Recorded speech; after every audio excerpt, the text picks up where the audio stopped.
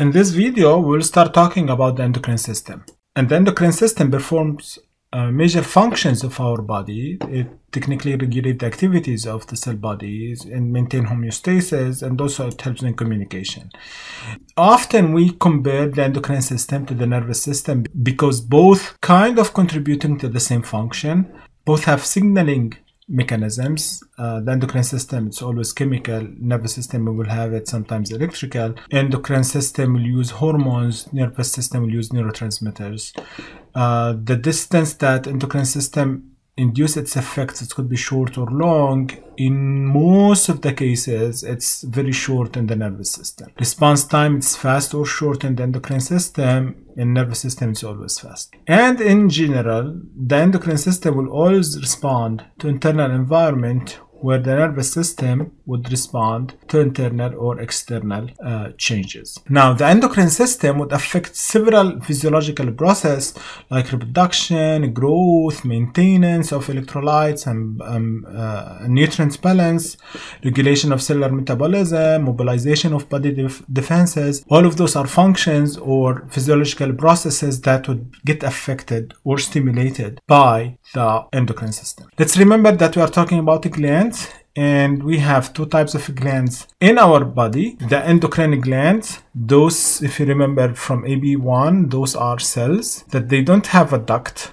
they don't have a tunnel to secrete their secretions through. Uh, however, their secretions will get secreted into the areas around them, and from there it, they will be transported to the blood. On the other hand, the exocrine glands are glands that they have a duct. They have an area where it takes where the secretions are collected and secreted to a surface. This could be internal surface or external surface. Uh, remember, like the sweat gland, salivary gland, mucus glands in our body, all of those are are exo exocrine glands, whereas like pancreas, the adrenal gland, thyroid gland, all of those glands are endocrine glands. In general, in this chapter, we'll talk about endocrine glands. We will not see exocrine glands in this chapter. So most of the endocrine glands are we are going to see are producing hormones. However, those hormones, the way they affect cells, it could be in one of two ways.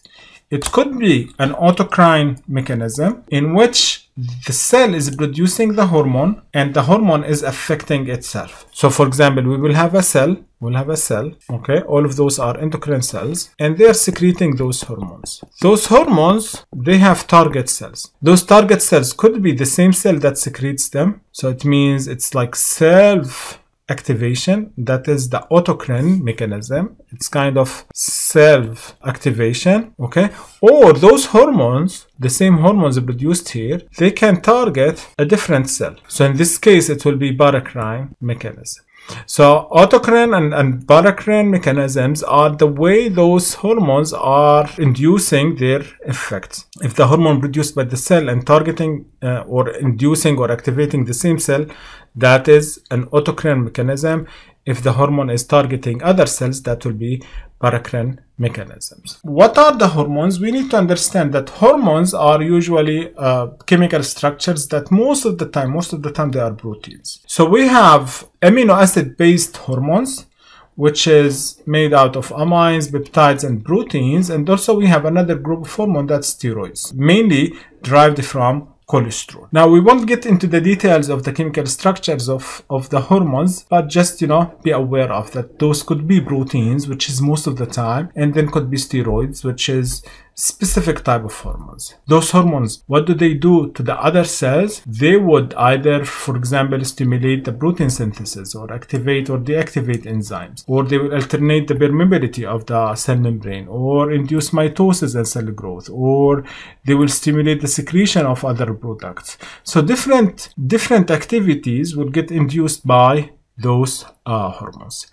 Now, let's start talking about like more heavy stuff now which is the regulation of hormone secretion.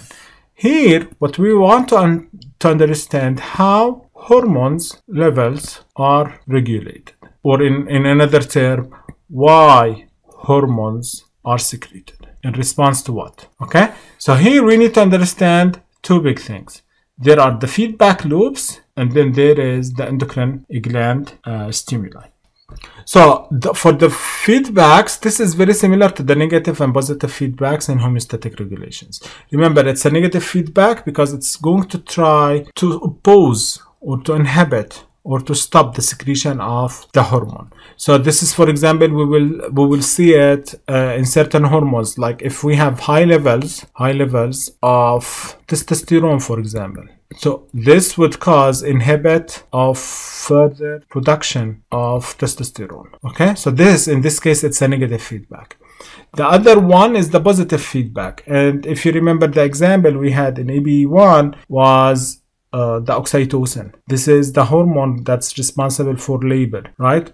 Childbirth. So this oxytocin, more levels of it will lead to more level again okay? Because of it will induce contractions and those contractions will lead, lead to more oxytocin which again would lead to contractions. So this is kind of a positive feedback that more of the hormone will, will lead to additional production of that hormone. Okay so that was for the uh, feedback loops then the other mechanism is the endocrine gland stimuli. Here a gland will get stimulated to release its hormone. Okay. This endocrine gland stimuli is this is what does it mean that the gland will get stimulated to release to release its hormone. Now, this is stimulation for this gland one of three ways. The first one is the humoral stimuli, second is neural stimuli, and the third one is hormonal stimuli. We will go through them.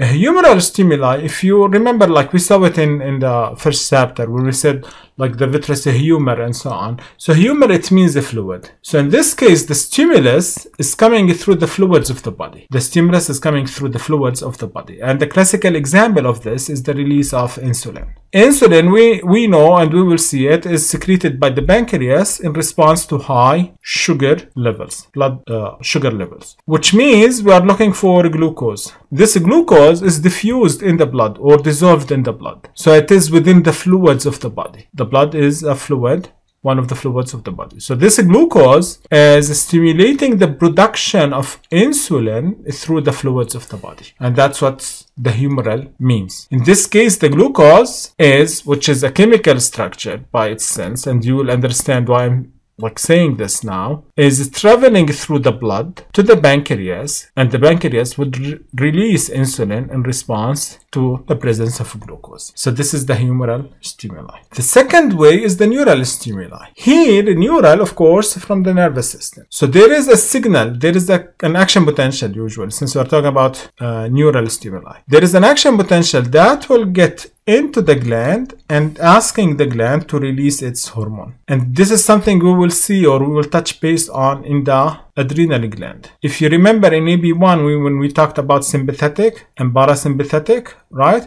We said the sympathetic is coming from the nervous system to the adrenal gland and from there it will cause to release uh, adrenaline for example in the fight or flight. So this signal to the adrenal gland to release adrenaline would be coming through a neuron, through an axon of a neuron. And the neuron would release the neurotransmitters. And this would lead to secretion of the hormone, right? That's why we call it a neural stimuli. The adrenal gland is got stimulated by a signal coming through the nervous system. Then the third way is the hormonal stimuli. And hormonal stimuli, it means that what stimulates the gland is another hormone. Hormonal, it means what stimulates the gland is another hormone. So the gland will get stimulated to release its own hormone. But what causing it to release its own hormone? A hormone coming from another gland. And we will see uh, some details about that. But the, the example we have is the pituitary gland. Later we'll understand what is the anterior pituitary gland.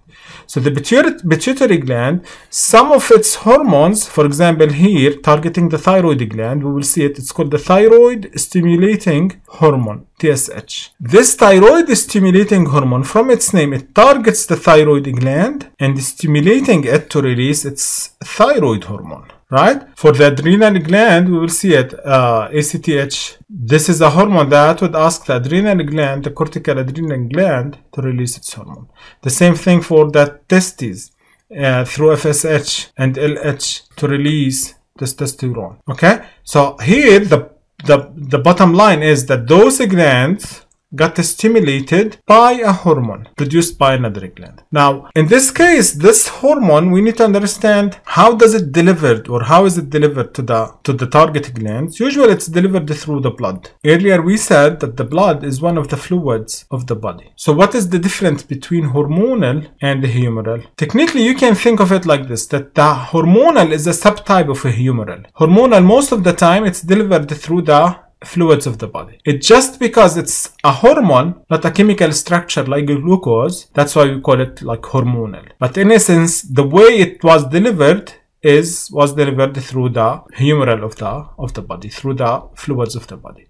It's just because it's nature, it's a hormone, meaning it's secreted by a gland, and that's why we call it hormonal stimuli. Okay, so I will stop here for this vi first video. Then the following video we'll start talking about the pituitary gland.